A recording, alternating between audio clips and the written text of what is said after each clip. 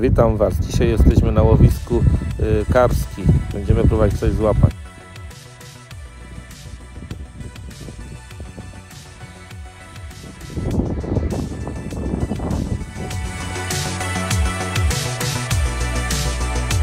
Zestawy już w wodzie, teraz możemy czekać na rybkę.